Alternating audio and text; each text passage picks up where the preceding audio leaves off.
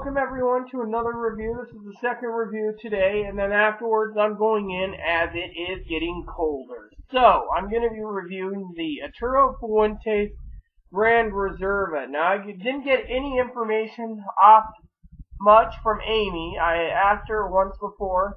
So I'm going to tell you, this looks like a miniature Perfecto, uh, but it does say that there's a Cameroon, Candela, Connecticut, and Connecticut broadleaf uh, wrapper. It's filled with uh, it's Nicaraguan. Uh, it's the origin Dominican Republic. So it says here, um, it's it's a time and a place for risky taking, like Vegas, for example, and then there's time and a place when you just want to guarantee an outcome. Long after a long hard day of bringing home bake, uh, the bacon becomes consistent. Arturo Fuentes is just the winning lottery every single day. Consistent quality. So, uh, it doesn't say much. It, uh, doesn't say what type of fillers. It says mild to medium body and beautifully constructed. Personality, dependability. If you could cook your if only they could cook your dinner, you wouldn't need much else in this world. Well, yes, but like I said, I don't know what size this is, and I don't know um, what this is. So, let's uh, fire it up and let's uh, see how well this do. But I'm doing a sniff test for once. I'm not. I'm picking up pure hay and a little cedar in this, so you know uh, the Fuente family, uh, Fuente Sr. passed away recently, rest his soul. So, first I want to give a shout out to Amy. Thank you for the cigar. Um, once and for all, uh, Amy, maybe later in the description, if you watch this, you can tell me what type of stick this is, size, and what wrapper it is. Amy said this is sitting in her humidor for six months. She sent me a cigar bomb for Christmas. And this is one of the ones. I got four of them. I gave two to my cousin because he's been so kind to let me stay here, and two for myself. One to smoke, one for review. And yes, I did smoke one, and the first one I smoked smoked like a dream. Please excuse me, I'm, my pants are falling down, and it's getting cold. So let's uh, fire this up with the Bic.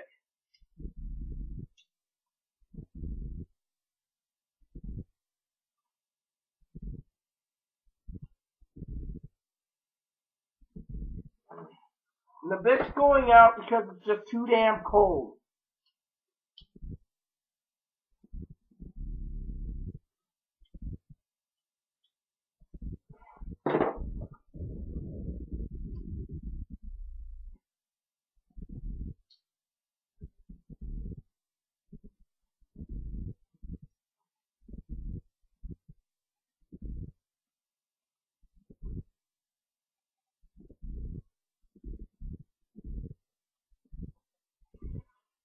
As Aaron would say, I'm smoking or trying to burn the nipple.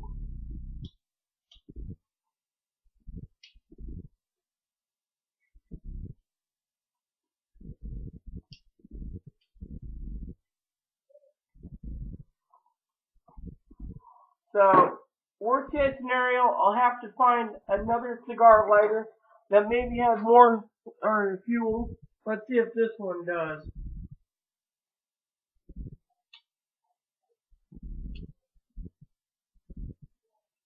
Seems these Bics are just notorious for uh, not working. And this one got fuel, but it ain't firing up. So, uh, I hope I don't have to resort to smoking it with a match. So, let me just say the draw on this cigar is just terrible.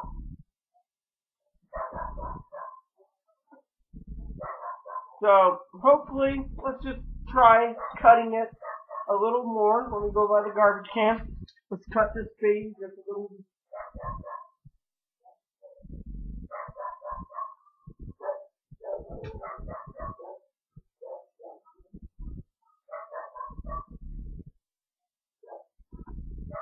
And I'm gonna have to probably go and get my poker the draw and drive it into this. I cut it. It's rock hard. So, in my opinion, it is. I'm picking up cedar, hay, and a little cocoa. So, uh, all I want to say to you all is stay tuned for the uh, halfway point, and I will have this cigar fixed. I think. Thank you, and stay. Stay tuned.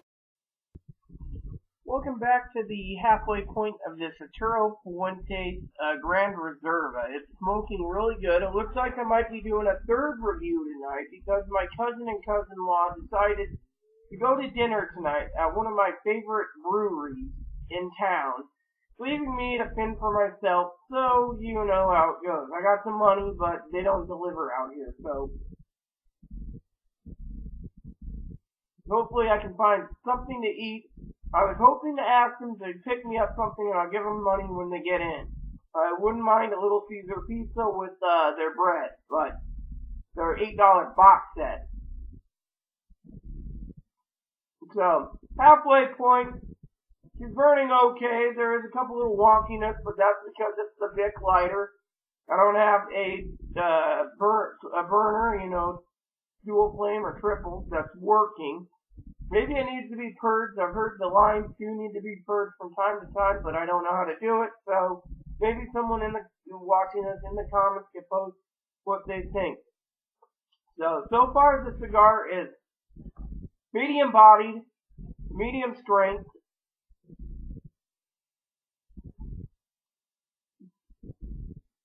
I'm picking up light Ligero, light cedar, light pepper. This cigar is pretty much smoking on a dream when it comes to flavor. And that's something that I could say I really do like and love very much. Please excuse me, that was a notification in my email. Again, two for the Google Social Network and one for Google Play just came in. Where the people complain on Google uh, social network that the calendar feature isn't working for itineraries, whether it be boat, train, or plane. Of course, that's the truth right now. Google is too lazy to fix it, so everyone's complaining about it. In my opinion, flavors are just amazing. I'm gonna have to rummage through the can here since family is going to be uh, going out to dinner tonight. They need some time anyways by themselves. So I will look for something to review, and then maybe it'll be ramen for dinner or uh, something else. I don't know.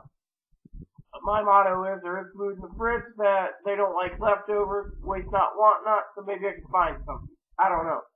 But anyways, I'm at the halfway point of this cigar. I do got it a light canoe, so let's see if we can fix this while talking to you all.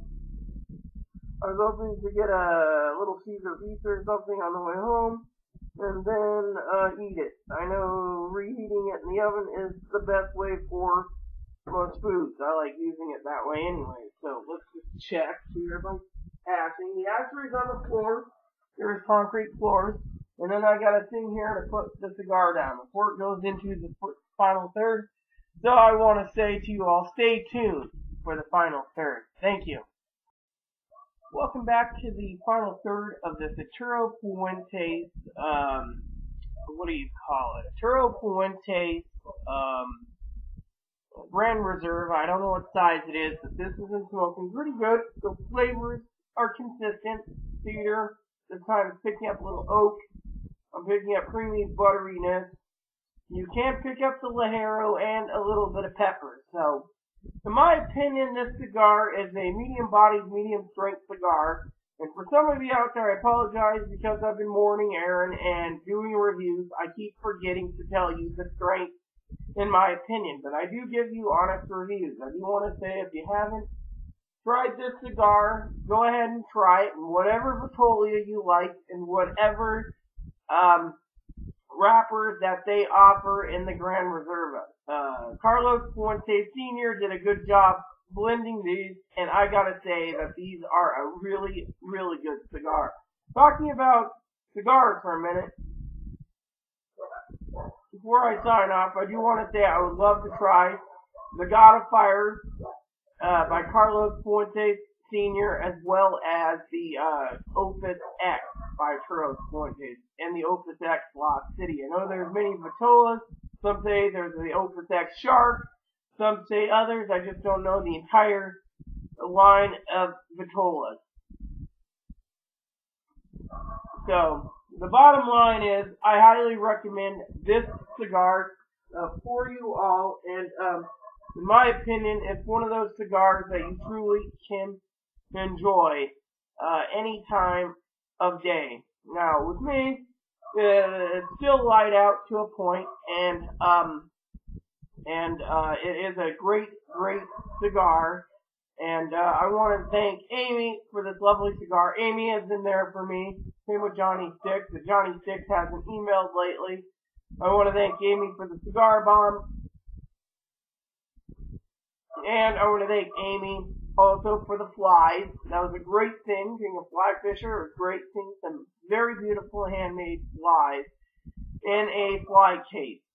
Um, for some of you out there, I'm looking to get some new fly rods, and maybe in the next video I will talk to you more about fly fishing while I review whatever one I pull out of the review can right down there. And hopefully this time around, I don't need to use a uh, pipe reamer to open it up. I actually had to cut this uh, off at the end. There was no draw, so I was figuring what's happened with the cigar itself was um, besides trying to light it with a Bic, which I'm hoping to figure out what to do with the next one, uh, because you know it, it's a good cigar, and I might look to see if there's any other cigar um, lighters in the house that has a bigger flame, so I can actually uh, uh, you know, light it properly, even with a regular lighter. I mean, I do prefer the uh, torch lighters, but I don't know where my cousin put his, and the three or four that I brought are not working uh, worth the damn. So I have no clue what to say or do about it. I don't know where he put it. Otherwise, I would have used it and cranked out and burned properly. And as you know, I got two cane nubs to review, and they come with a free lighter, a Cain Nub lighter by Holt. So let's hope it works good. I tried to get the nub sampler, the Cain Nub sampler, but the lady's like, no, you get the promotion of the free lighter because we're offering the free lighter uh, with the box at $59.95. The Cain Nub F was $69.95. I didn't buy it. I've tried it. I reviewed it with Aaron. You can check out Cain Nub F uh, below if you wish, or search for it on our channel. There's a search box. And uh, go ahead and watch and let us know. Uh, I do want to review the other two. Uh, there is three others, but I'm reviewing two of them. I do want to say that Aaron wanted to review the Habano and the Maduro, or the Happy and the Matty. So, you know, I'm hoping one day Cain comes out with a Cami, a Cameroon wrapper, and a Connie, a Connecticut wrapper. So, before I leave to go back home to Moses Lake, I will review those two for you in this garage. So, um, I'm hoping I can get one more review done and plug it, and then plug the charger into the wall here while it's charging, and I'm hoping I don't freeze to death while doing the review. You all remember I was freezing. I got my hand, on one of my hands under my pants just to keep it warm while I'm puffing on this here fine cigar. So, um, there you have it. So, do I recommend it? Yes. At least try it once. There's a lot of cigars on the market. My opinion is, and this is my honest opinion, try them all. What you don't like, scratch them off the list, continue down the path. Maybe you got a bad one, or maybe you didn't like that size of Vitola. You can always try a different Vitola. If you don't like that one, then you know you don't like the cigar because of the Vitola. Each size, as Johnny Six says, changes flavors. Like me, I like 6x60s or 4x60s, or Johnny Six like Toros. Aaron like Toros. The others like Longtails. Others like Churchills. Some like Bellicosos. Aaron loves torpedoes as well. So it just depends. So with that said, everyone, please add and subscribe. Please post comments. Please leave feedback suggestions. If you smoked this or you haven't, just leave us, let us know in the comments below. Thank you, Amy, and enjoy every puff.